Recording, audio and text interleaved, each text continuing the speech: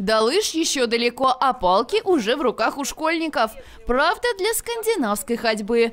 Уникальный и необычный урок физкультуры для восьмых классов Орудьевской школы.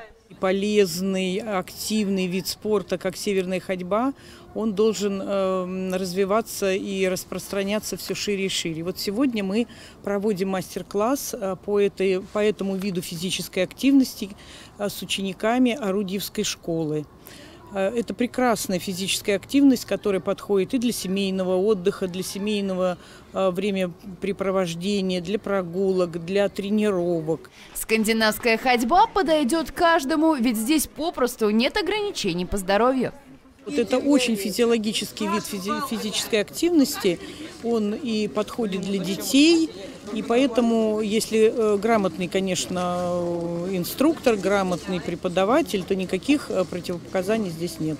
Для первого урока по скандинавской ходьбе Ирина Иноземцева подготовила емкую программу, позволяющую показать ребятам как можно больше за 45 минут. В плане занятий ознакомить детей, что это такое, чем, э, как, какие особенности этого вида физической активности, ну и, естественно, попробовать пройти с палками.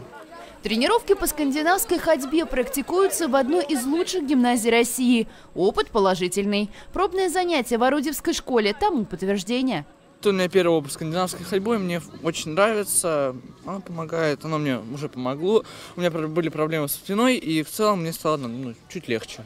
Только на первый взгляд кажется, что северная ходьба – это совершенно простой вид спорта. На самом деле работает все тело, которое постоянно нужно контролировать. Надо держать всегда осанку, и при этом надо всегда ходить правильно, и все.